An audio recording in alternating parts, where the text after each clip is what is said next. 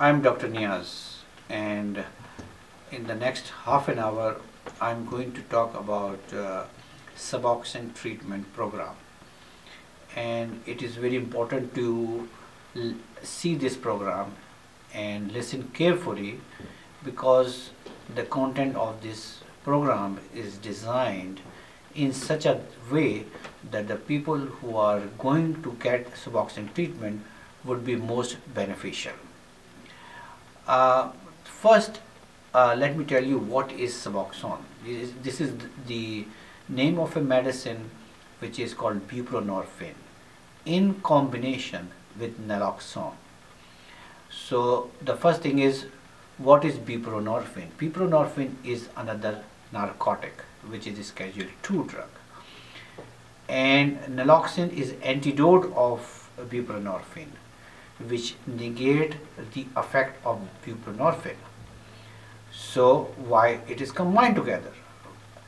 The reason why it is combined together is if buprenorphine which is used for um, for the addiction or drug dependence program uh, is somebody try to adulterate or try to use in a way which is, he or she is, is not assigned to use, then the naloxone part become activated. For example, if somebody try to crush the prescription and shoot it, or somebody tried to swallow the prescription, remember this medication is, is required to be taken under the tongue. That's called sublingual.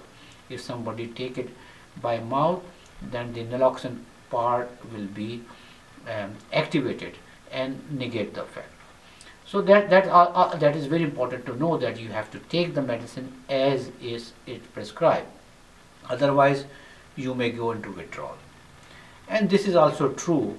Um, Sometimes people uh, try to give um, a medicine uh, considering that it it is good for pain or it is good for somebody is going through withdrawal process or some other reason and if you share it it's, it's possible that the other person may go into withdrawal because it has naloxone in it. So so the the first thing you remember is you have to take it as prescribed. Now the second thing is as i mentioned to you it is used for drug dependence and addiction pro, uh, program which is office based which is somewhat different than the methadone program but, but there are certain requirements in the program. Number one, the requirement is that the program require that you need to come for detoxification. What is detoxification? Detoxification, detoxification is a process in which we will clean your system. For example, if you are taking heroin. So when you come, we will try to clean heroin. How we does it? We will ask you to come uh, not taking heroin at least 24 hours prior to our office visit on the day of detoxification. And so so you literally are going through withdrawal. So that exactly what we are going to do. We are going to monitor withdrawal. As as the level of the heroin is going down from your body you you experience withdrawal. We are going to introduce um, Suboxone or buprenorphine. And um, basically in detoxification we use plain buprenorphine. And uh, and and we will see how much you need to control the withdrawal symptoms and to control your craving. So in other words you will be under control after the medication, after the detoxification. Detoxification process may take few hours. So you will come in the office, we'll check your vital sign, we'll explain you, probably you have to view this video and then we will give you the medications after all the precautions and then you stay in the office and we will determine how much you need it and we want you to be out of all the side effects, uh, all the withdrawals um, of the medications before you leave so that we know that this is the amount of, of drug that you need, I mean by the drug I mean Suboxone, that you need on an ongoing basis to control your drug dependence. So in other words, you get a chance now instead of chasing the street drug, now you can focus on constructive activities like go out and work, join education and training program. So you will become productive. That's our goal to take you out of the street and to make you productive. Now, since first you have to understand that I mean it is not so easy as it sounds because number one, what is addiction? Addiction is something which is in your genes, meaning you have a tendency. You have a tendency to hook to drugs and that runs in your genes, that runs, eh, you have a tendency. So in other words, if you expose to drug, you will, you have a higher tendency to get to drugs as compared to other people who don't have that tendency. For example, some people introduced to smoking and after the first cigarette they hook to smoking. On the other hand, other people may smoke for many many months, still they are not hooked to and they may be able to uh, quit smoking. In the same way, some person just take one heroin uh, shot or or smoke one cigarette with heroin and they hooked to it. On the other hand, um, other people may be experienced but they are able to manage it. So you have a tendency. In order to control that uh, tendency is not only just the medication, you also require to go for counseling. Remember, counseling is the part of the program. If you don't go for counseling, we, we may not be able to continue with the program. So medication plus counseling. Where to go for counseling? The office will give you the list of places, generally health departments or drug anonymous, many places, but we want some uh, some place which is a uh, peer control or certified counselor preferably will give you counseling. You can choose group counseling, you can choose individual counseling, but we should know where you are going for counseling. We should be able to confirm it and you bring some sort of attendance with you whenever you come for the visits. So this is detoxification and counseling. So as I mentioned that this is something in your body to hook to drug, it means you are required to be monitored very closely. And if you don't do that, you have a chance to go back to the addiction. So we will ask you to if possible to change your environment because if you are living in the same company um, uh, which is giving you drugs the chances are you will again involve so we advise people particularly young teenagers that you should be out of the um, out of the uh, the same company or change your environment try to not mix with those environment also i have seen people who involve their family members, wives, husbands, parents, brothers, sister, anybody. If the family involved, the chance of success is very high than compared to the people who don't have anyone. Other thing is people who have a psychiatric conditions, people who have a depressions, people have a um, post-traumatic stress syndrome, people who have a significant psychiatric condition and if their psychiatric conditions are not controlled, they have a more tendency to hook to drugs. So if you have a, um, so generally we ask people to go and see psychiatric doctor. And that doesn't mean that we are telling you uh, that you are crazy, but it helps. So, and we wouldn't want to, um, to uh, um, leave you in a condition where it's, it's become very difficult for you to be out of the drug um, condition. So you need, if you we ask you to see a psychiatric doctor, you you you should see uh, the doctor or the counselor or the psychologist. It is in your benefit. It will make you more successful. Another thing I have seen, people who have some goals in life. For example, people who are working, they are better successful than person who doesn't work. Uh, they are just disabled and sitting there and doing uh, drug oftentimes they don't have nothing to do. So that, that's the only thing they do is do drugs. So we encourage people and we like to and that's something we look into who qualify because remember there are methadone treatment programs also. If we feel like that the somebody is just um, doing nothing and not be able to be um, uh, um, productive or do any meaningful activity we may think whether you qualify for the uh, program or not because this if you able to do something constructive your ch chances of success increases So there are many measures. These are some of the things which I mentioned that uh, that are needed for you to um, to uh, to see, uh, to look into how the program will be more successful, how you make it more successful. Now, as I mentioned to you, um, this is a Schedule 2 drug, so it's have a very high uh, abuse potential. Uh, schedule 2 means very high potential and uh, Suboxone is Schedule 3 just because it has naloxone but buprenorphine is Schedule 2. So when it is such a uh, drug which can be uh, abused, again this is another narcotic, uh, similar narcotic which is sold on the street also. So why are we using? Because it is less evil than the one you are doing. So it has a better control it does generally does not give as much euphoria or um, as the street drug give.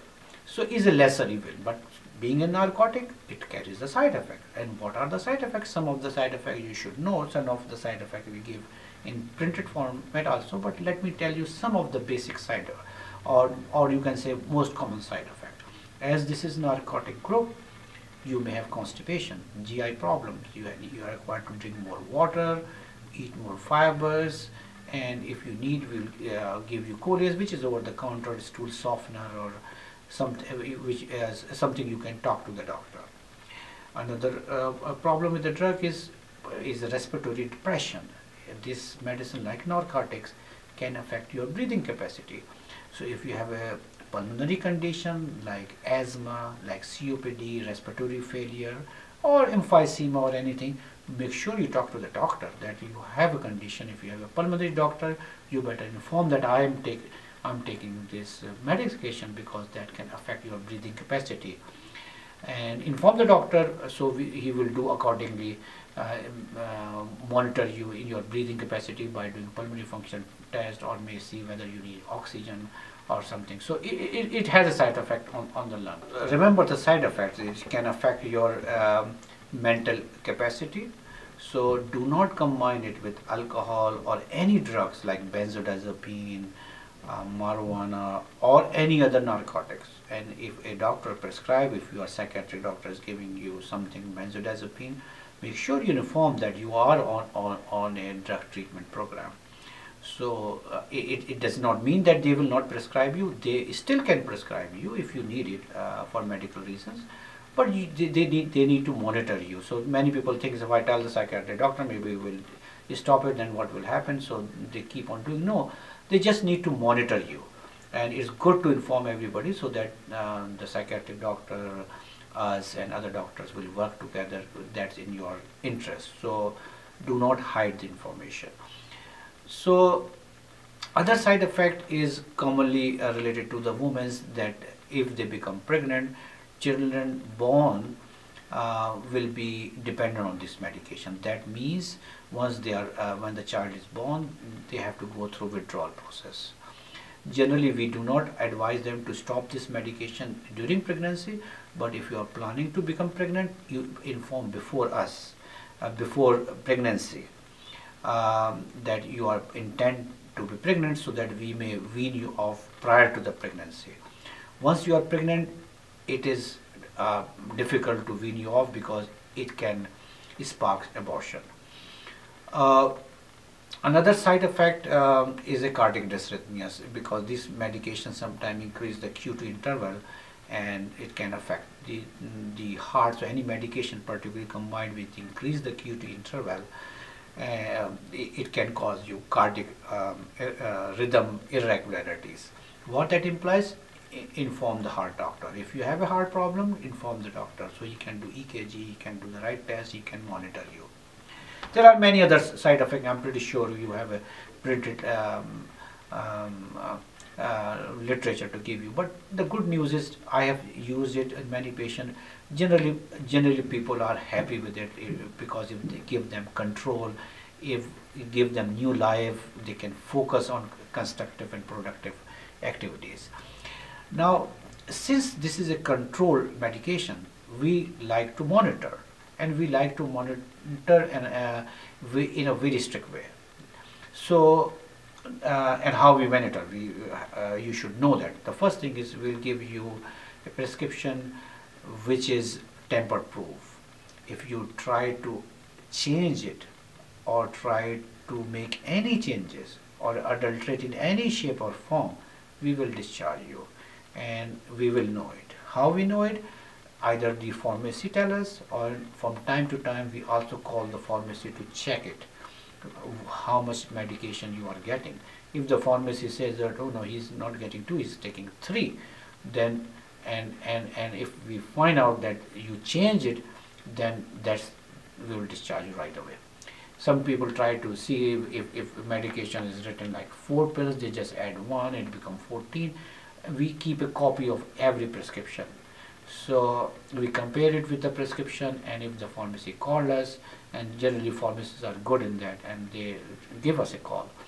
And then we find it then there is no excuse. You cannot expect us that we will give you because you are crying and no other doctor is giving you and uh, it affects your uh, livelihood it affects your uh, job or children.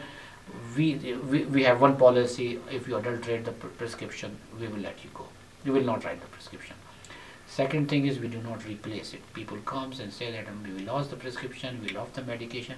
No, you have to be careful about your medication.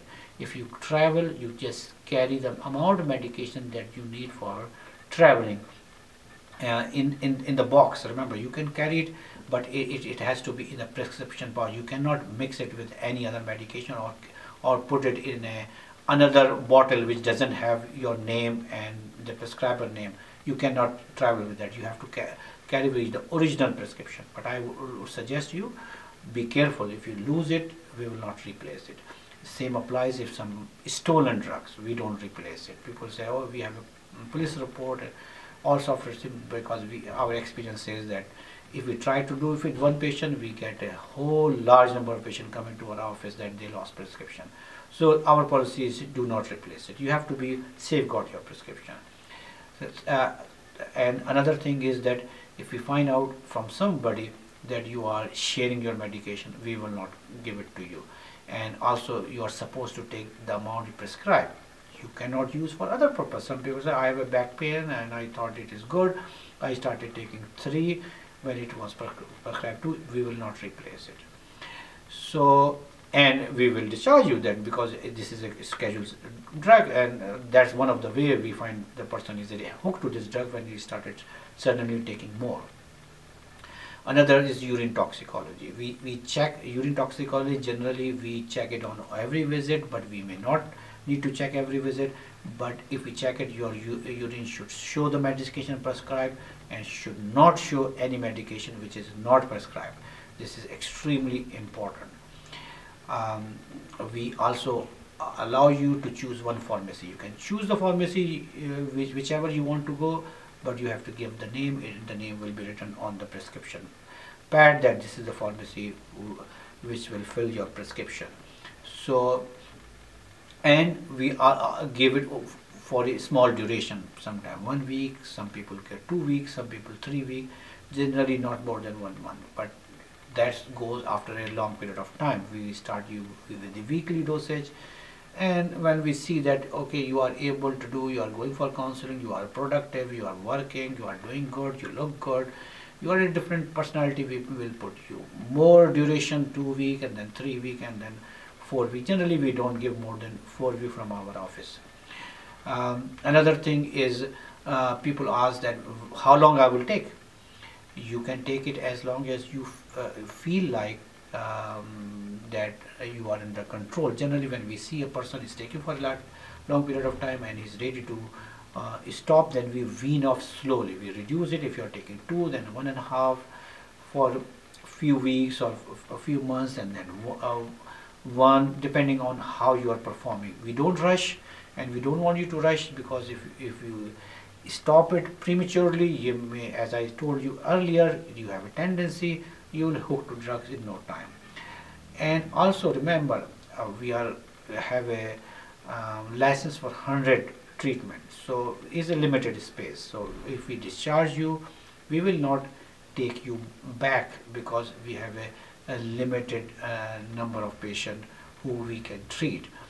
So overall, let me give you, I am not here to scare you, but you have to understand that you are taking a responsibility and the responsibility that you will use the medications as prescribed. You will use it only for the purpose of drug dependence and not else. And you will use the prescription by yourself. You will come and give us urine toxicology. Another thing we do for uh, monitoring is we ask you to come for pills counting uh, or, or, or, or, or, if you are taking films, we ask you to, go, to bring all your films. Suppose uh, if we call you, you have to have the valid telephone number in our office where we can reach you within 24 hours. You have to come up with the remaining prescription which we will see that you are taking it. That will help us to uh, uh, prevent diversion. Again, uh, we are here to help you. We are not policemen, but we will not let you do things the way you want to. We will help you to get rid of the drug program, but you also understand that it is in your hand to be 100% benefit from the program. And I, as I say that you, you, you see this video and follow the guidelines, discuss with the doctor, read the side effects, read the um, agreement that's called buprenorphine or suboxone agreement reads it in entirety because we we follow. Oftentimes I have seen people who come once they have a problem they say oh we did not know that this was written in the agreement. Read the contract discuss it discuss the side effect and uh, and we are here to help you. And if you have any question feel free to ask me. Thank you very much for watching this video and I'm pretty sure we will be glad to treat you.